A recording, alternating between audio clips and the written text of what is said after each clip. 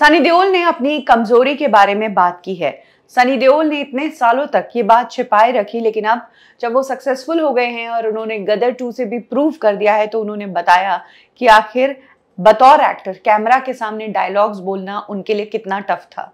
सनी देओल के जो dialogues viral होते हैं, जिन पर सीटियाँ और तालियाँ बजती है, उन डायलॉग्स को पढ़ने में, याद करने में सनी देओल को बहुत दिक्कत होती थी। बचपन से सनी देओल डिसलेक्सिक थे। उन्हें शब्द और सेंटेंसेस समझ ही नहीं आते थे। उनकी इस बीमारी के कारण स्कूल में तो उन्होंने बहुत प्रॉब्लम्स झेली ही, लेकिन जब वो एक्टर बन गए, तब और ज़्यादा प्रॉब्लम झेली।